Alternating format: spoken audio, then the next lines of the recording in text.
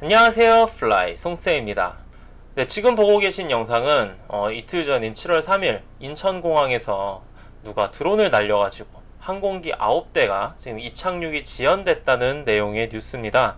근데 이렇게 공항 근처에서 드론을 날리는 사람 때문에 항공기가 지연되고 이런 피해를 받는 게 매년 일어나는 것 같아요. 근데 항공기 한 대만 지연돼도 경제적인 손실이 엄청 클 것 같은데 어, 누군가 이런 좀 어리석은 행동 때문에 항공기가 9대 200명씩만 타 있다 해도 1800명이나 되는 사람들한테 엄청난 피해를 끼친 거잖아요. 근데 이런 일이 발생하면 이제 드론에 대한 또 인식이 안 좋아지고 또 드론 항공법에 그런 법이 강화되고 그래서 굉장히 좀 안타까운 일입니다. 솔직히 좀 화도 나고요 네, 이거를 뭐 조종자의 문제죠. 사실 조종자의 문제가 맞습니다. 이 조종자가 드론을 날릴 거면은 1시간 20분 날렸다 하더라고요. 드론을 날릴 거면은 제대로 이렇게 항공법을 알고 지키면서 날려야죠. 그것도 공항 근처인데 공항 근처에서 날리면은 당연히 안 될 거라는 생각을 했어야 되는데 왜 그런지 잘 모르겠어요. 한 2년 전엔가 또 어떤 부동산 업자가 인천공항 근처에서 또 아파트 홍보자를 찍는다고 날렸던 적도 있고 참 그렇습니다. 저는 이제 오늘 영상에서는 이 항공법에 대해서 좀 더 정리를 해드리고 싶어요. 그래서 이거를 많은 분들, 최대한 드론을 날리는 분들 뿐만 아니고 드론을 잘 모르는 사람들도 정말 그냥 널리 널리 많이 많이 보셔가지고 조금 이런 항공법, 드론에 관련 법을 좀 아셨으면 좋겠다 하는 게 이제 제 목표입니다. 자, 그러면 드론에 관한 항공법을 알 수 있는 곳이 어디냐? 네, 이 항공법은 사실 그 제가 알기로는 국토교통부에서 제정을 합니다. 네, 그런데 이 국토교통부의 서울지방항공청에서 이 드론 원스톱 민원 서비스라는 걸 만들었어요. 가지고 그러니까 드론에 관련된 것들을 다 모아놓은 거죠. 여기서만 잘 보셔도 웬만한 건 다 알 수 있단 말이죠. 보시면은 뭐 비행 가능 구역 지도를 검색을 할 수 있고 이 지도를 통해서 사실 웬만한 정보는 다 알 수 있거든요. 여기 보시면은 어, 빨간색도 있고 막 초록색도 있고 막 굉장히 복잡한데 여기 범례 눌러 보시면요.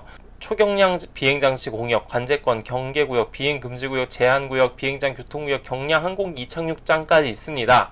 근데 이 중에서 이제 드론을 날려도 되는 곳은 요거예요. 초경량 장치 비행 공역 하나입니다. 그러면 나머지 관제권부터 경량 항공기 이착륙장, 그러니까 지금 초경량 장치 비행 공역을 뺐더니 이제 남아있는 것들 있잖아요. 여기서는 날리면 안 되는 거예요. 일단은 허가가 필요한 겁니다. 그래서 내가 날리려는 곳이 요 뭔가 이 그림이 있는 색깔이 있는 요곳이다. 그러면 이제 허가를 받으셔야 돼요.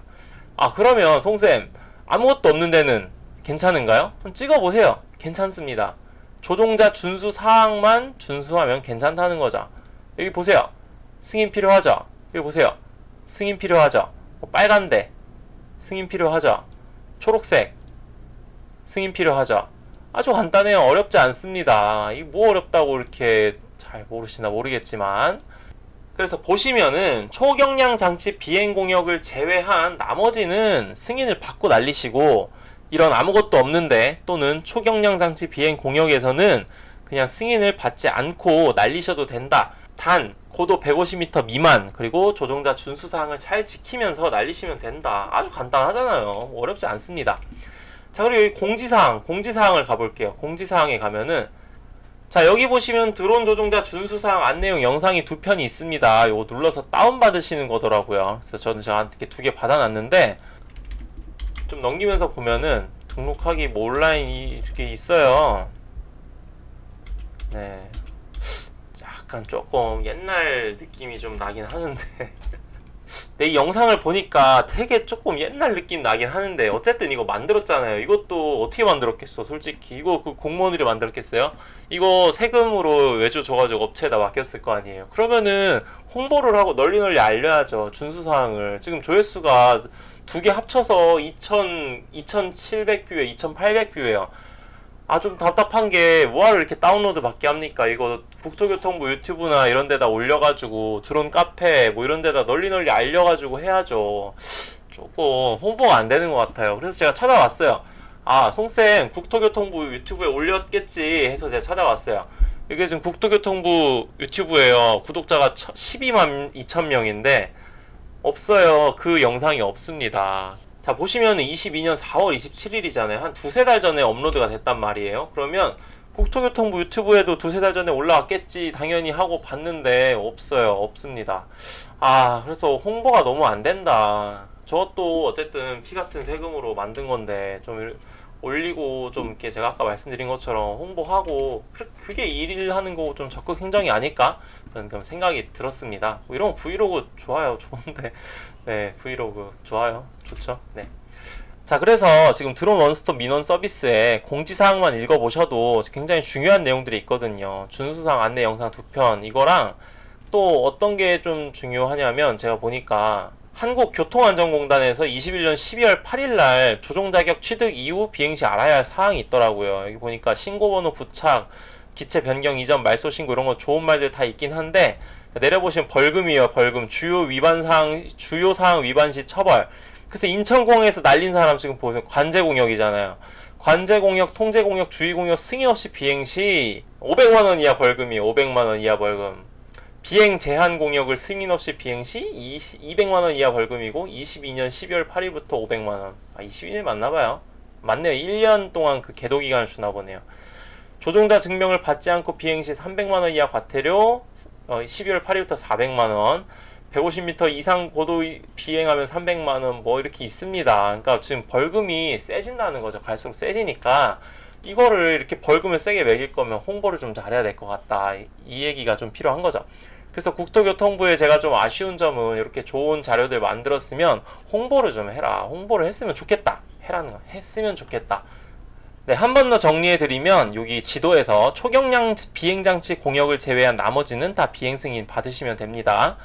그 다음에 가장 많은 분들이 헷갈리는 거예요. 바로 이 매빅 미니입니다. 왜 DJI는 249g짜리를 만들어가지고 그놈의 249g을 만들어서 사람들 헷갈리게 하냐 이거죠. 예, 매빅 미니 3, DJI 미니 3, DJI 미니 2 전부 다 250g 미만의 249g짜리 드론이에요.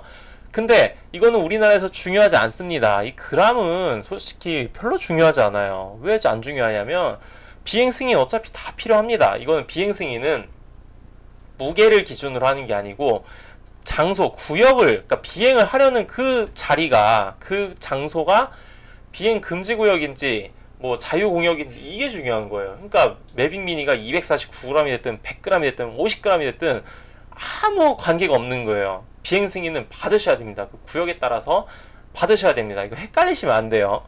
자, 두 번째. 그러면 완구 드론. 오케이. 그래. 근데 솔직히 매빅 미니는 249g이라고 해도 GPS 되고 막 hovering 되고 return home 다 되고 촬영되고 4K 촬영되고 좋은 거잖아요. 그거는 그래 그렇다 쳐. 근데 시마 X5C라든지 H36 같은 완구 드론 이거 뭐 이게 장난감 드론 5만 원, 10만 원짜리 드론인데 이거 설마 괜찮겠지 하고 날리는 분들도 계시단 말이에요.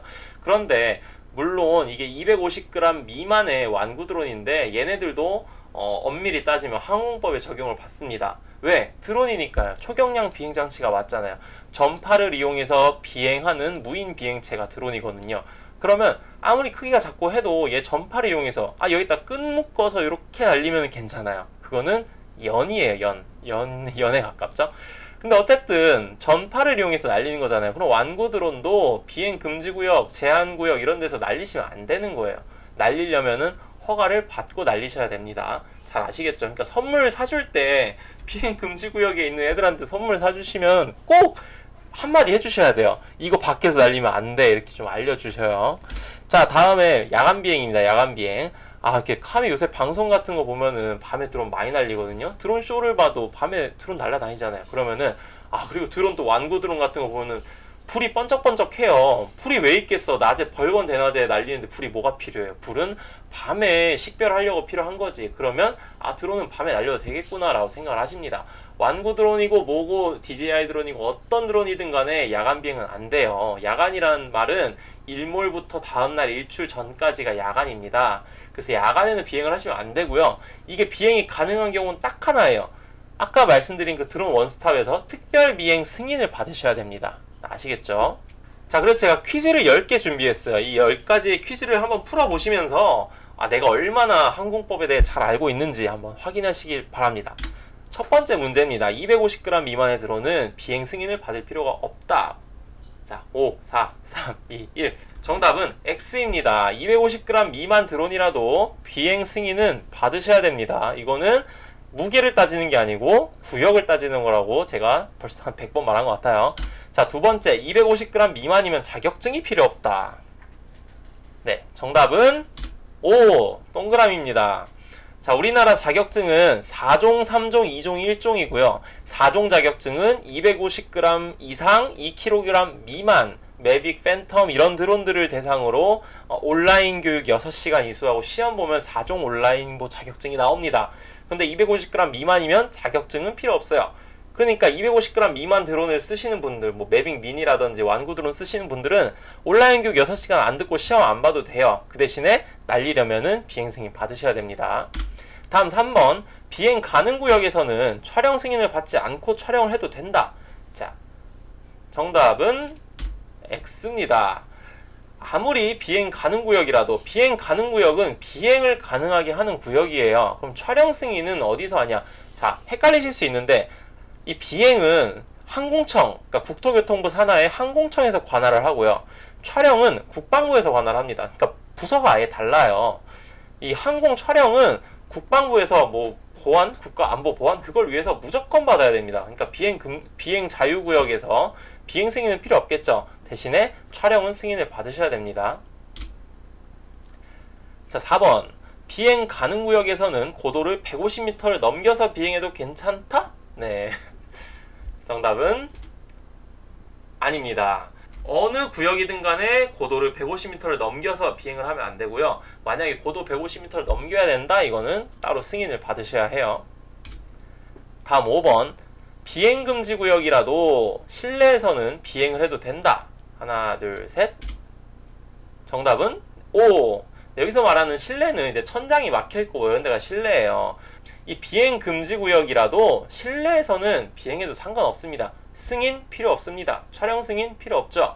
그냥 날리셔도 돼요. 건물 내 실내는 건물이잖아요. 건물 안에서 날리셔도 돼요. 아 그러면은 송쌤 인천공항에서 건물 안에서 날려도 돼요? 날려도 되죠. 근데 날리면 이제 공항 경찰한테 잡히겠죠. 왜냐면은 이 건물이라는 거는 관리인 있잖아요. 관리하는 주체가 있어요. 그럼 건물 안에서 드론을 날리면은 분명히 다른 사람들한테 뭔가 피해가 갈 수도 있고 건물에 피해를 줄 수 있기 때문에 관리 주체의 허락을 받아야겠죠. 자, 6번. 비행 제한 구역에서는 고도 150m 미만이라면 비행 승인이 필요 없다. 약간 헷갈릴 수도 있겠네요. 정답은 아닙니다. 네, 비행 제한 구역도 승인을 받으셔야 됩니다. 그러니까 아까 말씀드렸죠? 초경량 장치 비행 공역 그리고 뭐 자유구역 아무것도 아닌 구역 빼면 다 승인 받으셔야 돼요. 다음 7번 완고 드론은 밤에 날려도 괜찮다? 어, 아까 했던 거니까 네, 정답은 아니죠. 완구 드론도 드론이니까 밤엔 날리면 안 됩니다. 절대 안 돼요. 다음 8번 실내에서는 야간 비행을 해도 된다? 어? 아까 송쌤이 야간 비행할 거면 특별 비행 승인 받으랬는데 정답은 아니죠. 아, 아 정답은 맞습니다. 네, 실내는 아무 그런 거에 저촉을 받지 않습니다. 그러니까 밤에 강당 이런 데서 체육관에서 날리셔도 됩니다. 다음 9번. 비행 금지 구역에서는 비행 승인을 받을 수 없다? 어, 비행 금지면 비행을 못 하는 거 아니야? 그럼 승인이 안 나겠지. 할 수 있지만 아니죠. 네.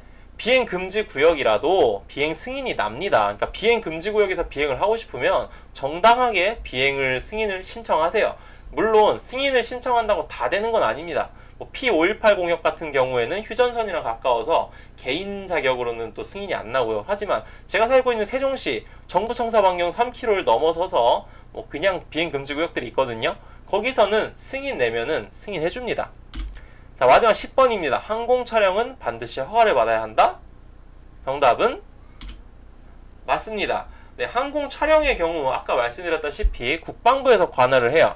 따라서 반드시 허가를 받고 이 항공 촬영은 우리나라 안에서 촬영하는 모든 거에 대해서는 다 허가가 필요합니다. 자, 지금까지 10문제 풀었는데요. 몇 개나 맞추셨나요? 저는 이거에 대해서도 할 말이 좀 많습니다. 솔직히 1번부터 10번까지는 너무나도 당연히 알아야 되는 그런 내용들이에요. 근데 제가 아까 말씀드렸던 그 4종 온라인 드론 자격증 있잖아요. 제가 그거 처음 나왔을 때 그 강의 들으면서 아, 뭐 이런 걸 만들었나 싶을 정도로 제가 몇 번 디스를 했었잖아요. 이게 왜 그러냐면은, 와, 너무 그 필요 없는 것들을 많이 배워요. 막 구름 모양을 배워야 되고 뭐 무슨 과학 시간도 아니고 재밌게라도 하든지 재미도 없고 그런 거 6시간 들어서 시험 봐봤자 뭔 도움이 됩니까? 그거 솔직히 사업하는 사람들이나 뭐 교관하는 사람들 아니고서야 도움 안 됩니다.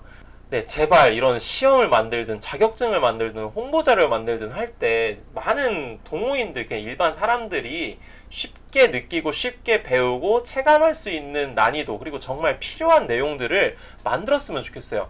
그래야지 해운대에서 밤에 그렇게 남의 집 안 찍고 인천공항 근처에서 드론 안 날리는 거죠.